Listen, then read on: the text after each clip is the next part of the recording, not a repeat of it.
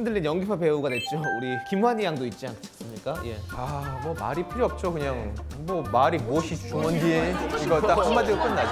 전라도 사 투리를 능수능란하게 구사를 하잖아요. 서울 출생입니다. 아, 서울 출생입니까? 서울 출생입니다. 근데 아버지가 네. 전라도 분이어서 아. 그냥 연기 지도 선생님이 아니라 아버지셨어요. 얘기를 하고선 자, 그 부분은 좀 더 느리게 하고 이렇게 얘기를 하는데 그 맛이 연기에서 그대로 산 거죠. 네. 그러니까 본인 입장에서도 아빠가 가르쳐 주는데 이거보다 편한 선생님이 어디가 있겠어요.